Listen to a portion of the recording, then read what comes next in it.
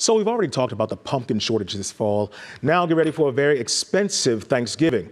Turkey prices are expected to reach record highs this year. Rebecca Jarvis explains what's behind the rising costs. This morning, signs of turkey trouble. The cost of the Thanksgiving staple spiking, hitting a new record high as the bird flu and inflation ruffle feathers. It definitely causes a whole lot of stress. I've never been not able to get the turkeys that I've wanted. The retail price for boneless, skinless turkey breast more than doubling, now near $7 a pound it's really a combination of issues that are leading to these record high prices this year. One that's having the largest influence is an outbreak of high path avian influenza, which has led to a decline in the number of turkeys that are being grown. A particularly bad outbreak of the bird flu wreaking havoc on farms. Nearly 47 million birds affected across 40 states. If your turkeys end up with bird flu, any other poultry on the farm whether it's meat chickens, egg layers, they all have to be exterminated. And that's just not only a huge financial loss, that's just a really sad situation. On top of that, farmers facing their own rising costs. Whether it's um, utilities or groceries or building materials, everything has gone up incredible. But experts say there's still ways to save money on your feast. Perhaps think about getting a frozen bird rather than a fresh turkey this year. Ways to to really stretch that dollar so that we can all be together but still have that traditional thanksgiving dinner It's now post-tropical cyclone and Ian is hitting parts of southeast after leaving behind a trail of destruction in Florida. Coming up, the latest on the efforts to rescue survivors.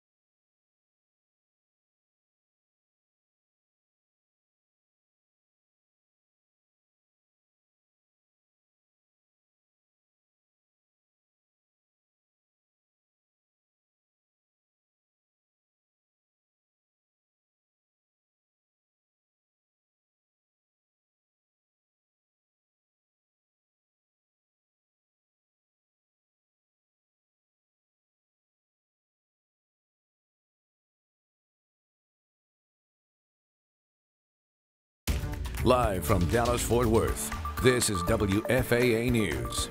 And thanks for sticking around for this second half hour of WFAA News at 4. I'm Demond Fernandez. We begin with new information on Ian. Today, that storm made another landfall, this time in South Carolina. The state's governor has already issued a state of emergency. And the storm's making history as one of the top 10 strongest on record to hit Florida Wednesday.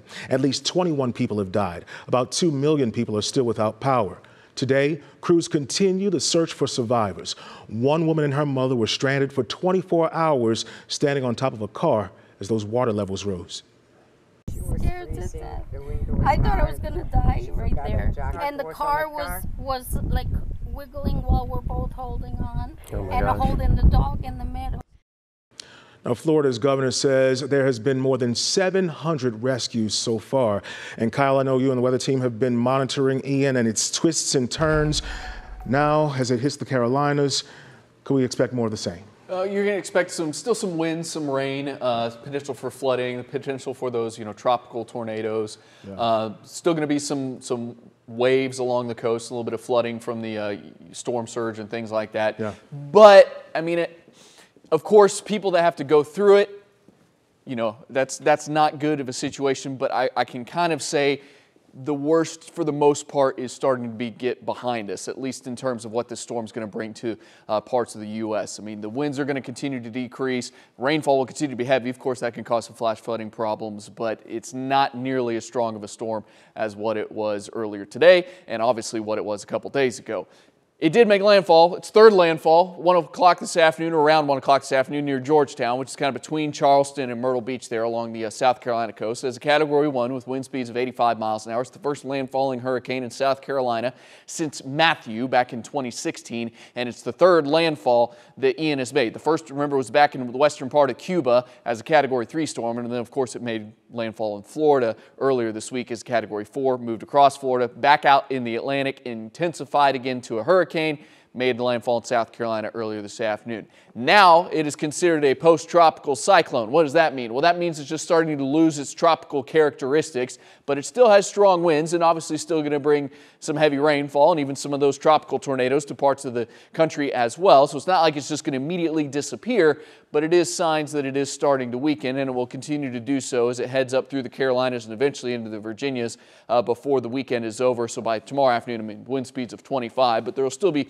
heavy rain potentially for parts of the Carolinas and then up the East Coast through the weekend as well. Obviously not affecting our weather here. Our weather is beautiful. How about this? The coolest morning of fall so far headed your way. We'll talk about that when I return. All right, Kyle, thanks so much. You know, one man is sharing his story after he says he was robbed through a text message. Now, he thought he was he thought that message was from his bank, and now he's warning about thieves using Zelle to target victims. Here's ABC's Will Reeve. It happened so quickly. Marcus Miles says his bank account was drained after he got a text message that seemed to be from his real bank, Capital One. I was caught off guard, but I might as well have just walked out my front door and given all of my money to the first person that I saw. The text reading, Did you attempt a $500 Zelle transfer? Zelle is a mobile payment transfer service embedded in your banking app that allows you to send money to people directly between bank accounts. But Miles said he hadn't sent any money so he was eager to talk to who he thought was his bank. I was convinced because uh, he kept saying, "Looks like someone has is accessing from an IP address in Texas." Looking back, 16 minutes worth of manipulation, and boy, was he good. He then received a text to confirm his username and login. Because I was getting a text, um, I actually was sending it back. Moments later, his account empty. His story, one of many from across the country. Who the heck would have all that information? Demi Woods, speaking to our station WLS in Chicago, lost $3,500. Our San Francisco 7 on Your Side unit hearing from dozens of consumers. Lawmakers are now working to make these money transfers safer. Congress is considering a draft proposal to ensure that consumers who get induced into scams have protection and get their money replenished by the banking industry or whatever platform they've used. Zelle is out with its own TikTok, reminding customers that their banks will never call for personal info because they already have it. And if the caller says it's urgent, question it.